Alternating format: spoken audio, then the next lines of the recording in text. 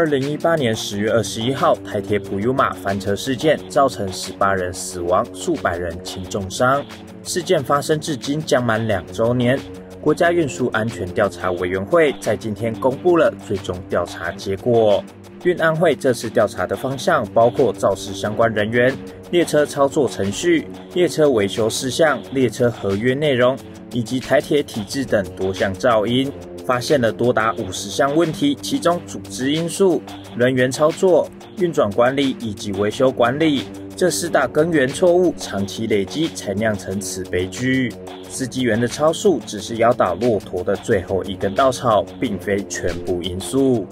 我们把所有的影像、把有的记录器的资料，啊啊，还有声音档，我们都同步。司机员一方面要看。他的仪表板，一方面要听外面的指示，哦，所以我们也看得到司机员在各种压力下，假如他又是二线的司机员来开一线的车，那这样的风险更高。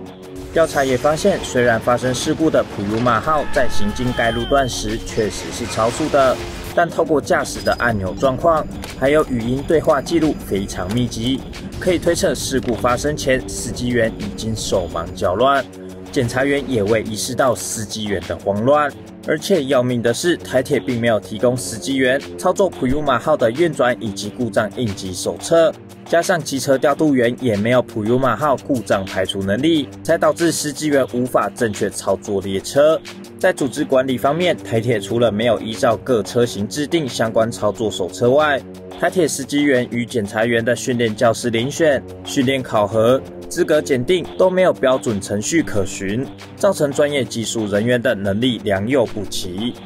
更夸张的是，台铁在列车维修保养上并没有确实做好。运安会发现，肇事普悠马号的主风棒零件上累积过多的异物和脏污，导致主风棒运作时因油温过高强制停机。加上全车的主风棒因中空丝膜除湿机滤芯沾附润滑油，让主风棒压缩空气的性能仅剩下新品的零点二二倍。此外，依照原厂维修手册规定，该列车的主风棒每三年必须更换滤芯，但台铁却以营运调度为由，要求台北机场简化维修项目以及延迟维修排程。造成肇事列车的主风棒近六年没有更换，性能不佳，根本是罔顾运输安全。